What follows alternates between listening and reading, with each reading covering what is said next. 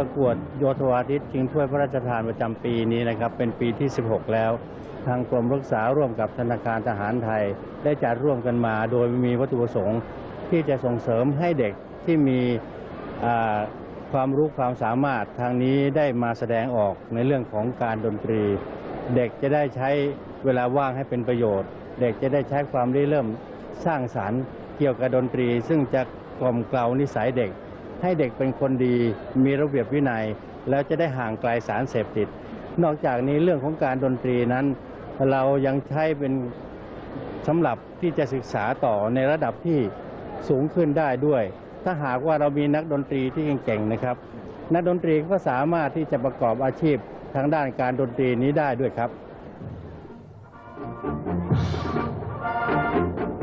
ในส่วนของธนาคารทหารไทยจำกัดมหาชน ซึ่งได้สนับสนุนการประกวดวงโยธวาทิตมาโดยตลอดนั้น นายสมชาติอินทรทูต กรรมการรองผู้จัดการใหญ่อาวุโส ได้เปิดเผยถึงเหตุผลในการสนับสนุนว่า ในเริ่มแรกเนี่ยทางธนาคารเนี่ยได้จัดการแข่งขันกีฬาภายในขึ้นมาก่อนนะครับ ก็เสร็จแล้วเนี่ยเราก็ใช้วงดนตรีของเด็กเนี่ยมาเดินนำขบวน จากจุดนั้นเนี่ยเรามองเห็นว่าธนาคารน่าจะจัดกิจกรรมในการส่งเสริมดนตรีวงโยธวาทิตของนักเรียนครับ เราก็เลยมาร่วมกับกรมพระศึกษาในการจัดการอันนี้ขึ้น ซึ่งก็รู้สึกจะเริ่มต้นประมาณปี 2524 นะครับ จากจุดเล็กๆเหล่านั้นเนี่ยนะครับเเวลาผ่านไปแค่สัก 3-4 ปีเนี่ยปรากฏว่าเราได้ส่งเสริมโรงเรียนต่างๆเนี่ยให้เล่นดนตรีแล้วก็มีมาตรฐานยิ่งขึ้น จุดนั้นเราก็ได้ได้มีการปรึกษาหารือกันว่า เราหน้าที่จะสนับสนุนให้ดนตรีนั้นแพร่หลายไปทั่วประเทศนะครับ ก็เลยหารือกับกรมพระศึกษาในการจัดประกวดโดยให้แต่ละเขตทั่วประเทศไทยเนี่ยนะครับได้จัดประกวดในรอบแรกก่อน แล้วก็ส่งผู้ที่ชนะหรือว่าได้มาตรฐานเนี่ยเข้ามาประกวดชิงถ้วยพระราชทานในกรุงเทพนะครับจุดแรกเราเสร็จแล้วเนี่ยจากผลที่ได้ดำเนินการเนี่ยปรากฏว่า เราได้วงดนตรีที่ได้มาตรฐานมากพอสมควร และจุดนั้นเองเมื่อมีการแข่งขันหรือว่าประกวดในต่างประเทศเนี่ยปรากฏว่ามีการส่งดนตรีที่ชนะการประกวดของเราเนี่ยไปร่วมแข่งขันในนานาประเทศแล้วก็ปรากฏว่าเราก็ได้รางวัลชนะเลิศมานะครับ แล้วก็ผมว่าเป็นเกียรติประวัติแก่ประเทศไทย การประกวดวงโยธวาทิตชิงถ้วยพระราชทานประจำปี 2540 จัดประกวดเป็นสองรอบ รอบแรกระหว่างวันที่ 24 ถึง 28 ธันวาคม 2539 ณ สนามกีฬาสมโพธิเชียงใหม่ 700 ปี ปีนี้เราก็เห็นว่าน่าจะให้โอกาสคนต่างจังหวัดเนี่ยได้ชมการประกวดในรอบแรก ซึ่งเป็นการประกวดชิงเอ่อเหรียญนะครับ ก็มีเหรียญเงิน เหรียญทอง เหรียญทองแดงนะครับ เพื่อหาผู้ที่มีฝีมือดีคือได้ระดับเหรียญทองเนี่ยเข้ามาประกวดในกรุงเทพเพื่อชิงถ้วยพระราชทานนะครับ จากเชียงใหม่ที่เราจัดนั้นมีผู้ส่งเข้าประกวดถึง 26 โรงเรียนด้วยกันนะครับ เราประกวดหลายวันนะฮะ 5 วันตั้งแต่วันที่ 24 ธันวาถึงวันที่ 28 นะครับ แล้วก็ผลการประกวดเราก็ได้คัดเลือกวงที่ได้เหรียญทอง เข้ามาชิงชนะเลิศหรือว่าชิงถ้วยพระราชทานในวันนี้นะครับ ซึ่งมีทั้งสิ้นถึงเอ่อ7วงด้วยกันครับผมผลการแข่งขันรอบแรก ได้วงโยธวาทิตที่ชนะเลิศในแต่ละประเภทคือ ประเภทกอโรงเรียนบุญวัฒนา จังหวัดนครราชสีมา โรงเรียนราชวินิตบางแก้ว จังหวัดสมุทรปราการ โรงเรียนอัสสัมชัญศรีราชา จังหวัดชลบุรี ประเภท ข โรงเรียนเทพบดินทร์วิทยาจังหวัดเชียงใหม่ โรงเรียนมหาวชิราวุธจังหวัดสงขลา ประเภท ค โรงเรียนเซนต์โยเซฟบางนา จังหวัดสมุทรปราการ โรงเรียนเฉลิมขวัญสตรี จังหวัดพิษณุโลก และวงโยธวาทิตที่ชนะเลิศแต่ละประเภททั้ง 7 โรงเรียนนี้ได้มาแข่งขันในรอบ2เพื่อชิงถ้วยพระราชทานเมื่อวันอาทิตย์ที่ 12 มกราคมที่ผ่านมานี้ณสนามสุขพัชลาไสยกรุงเทพมหานคร ในพิธีเปิดวงโยธวาทิต โรงเรียนมัธยมวัดสิงห์ได้นำขบวนอัญเชิญถ้วยพระราชทาน มอบให้ประธานในพิธี โดยมีเขาทรายกาแล็กซี่ อดีตแชมป์โลกขวัญใจชาวไทย ร่วมเป็นคาถากร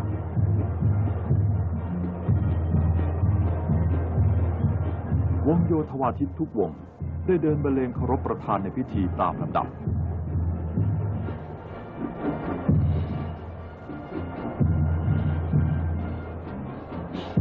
โรงเรียนมัธยมวัดสิงห์ได้นำการแสดงวงโยธวาทิตมาจัดแสดงเป็นพิเศษในงานนี้ด้วย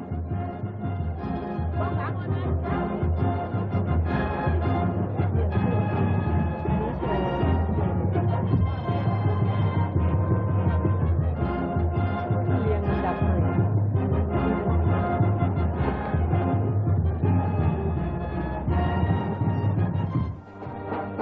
หลังจากนั้น พระนาท่านองคมนตรีพลเรือตรีหม่อมหลวงอัศนีปราโมทผู้แทนพระองค์ได้เดินทางมาถึง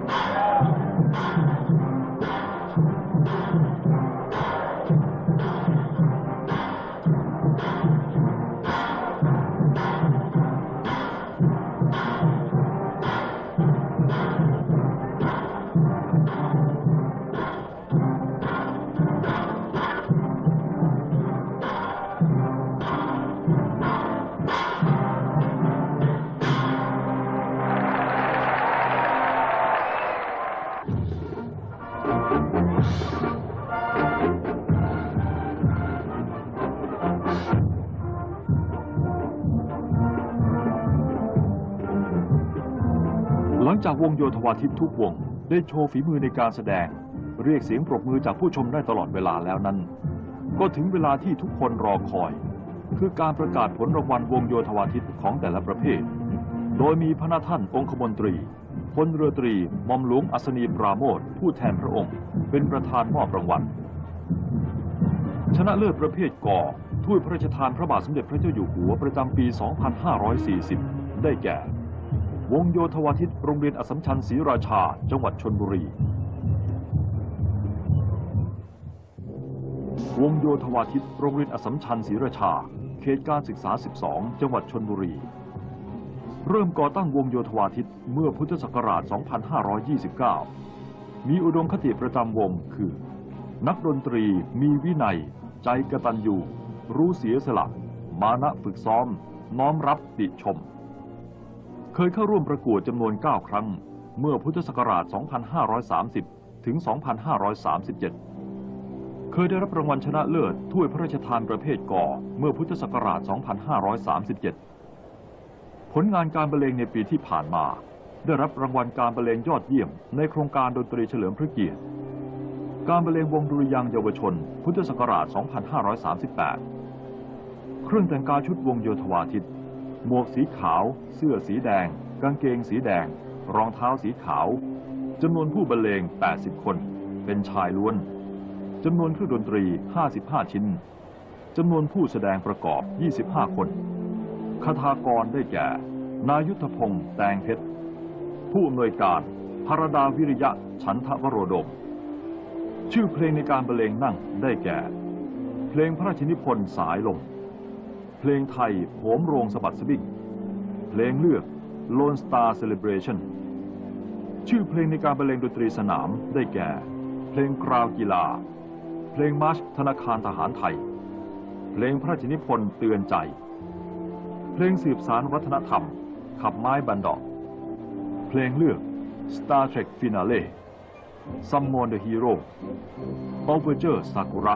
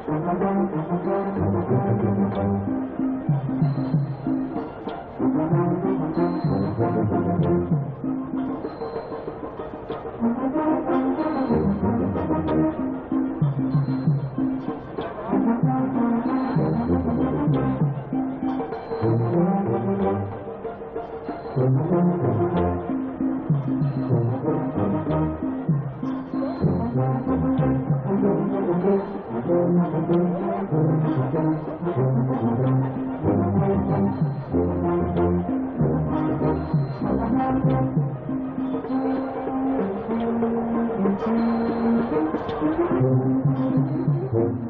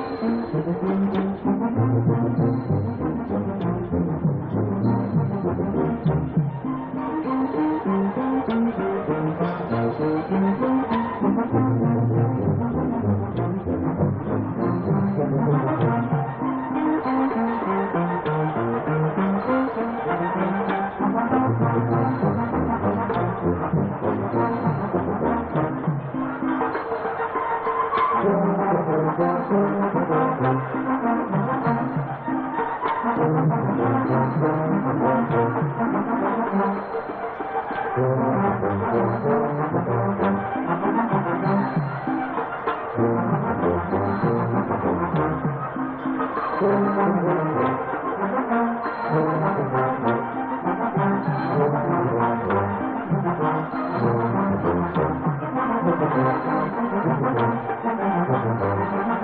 you.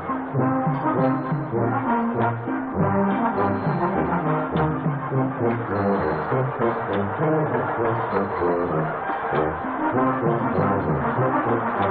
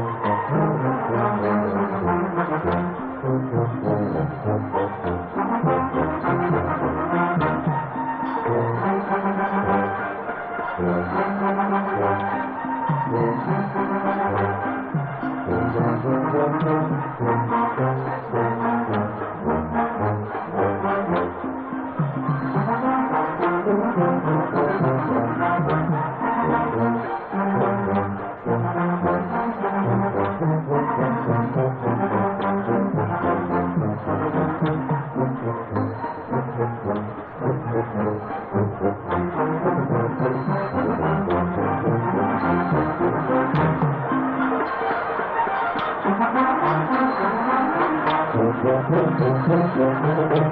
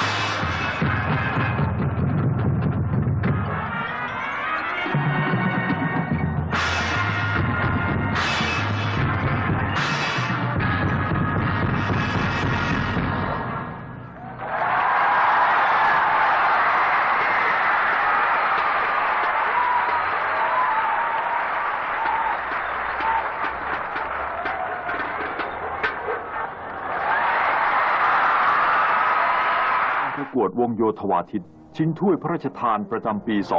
2540 ก็เสร็จสิ้นลง เสียงเพลงสามัคคีชุมนุมที่ก้องกังวานทั้งสนามสุพัชลาใสยในค่ำคืนนั้น เปรียบประดุดเสียงเล่าขานถึงความสามัคคีพร้อมเพรียงของเยาวชนไทย ผู้มีใจรักในการดนตรี ที่ได้มาร่วมชุมนุม แสดงพลังขับขานให้ชนชาวไทย ได้ประจักษ์ถึงอัจฉริยภาพของเยาวชนไทย ที่ไม่เป็นสองรองใคร หากได้รับการสนับสนุนอย่างจริงจัง จากทุกคนทุกฝ่ายที่เกี่ยวข้อง ขอมอบความสำเร็จอันงดงามครั้งนี้ เพื่อเป็นพลังใจแก่ผู้อยู่เบื้องหลังความสำเร็จทุกคน กรมพระศึกษาและธนาคารทหารไทยจำกัดมหาชน จะร่วมกันสืบสารตำนานแห่งความสามัคคี และความสำเร็จนี้ตลอดไป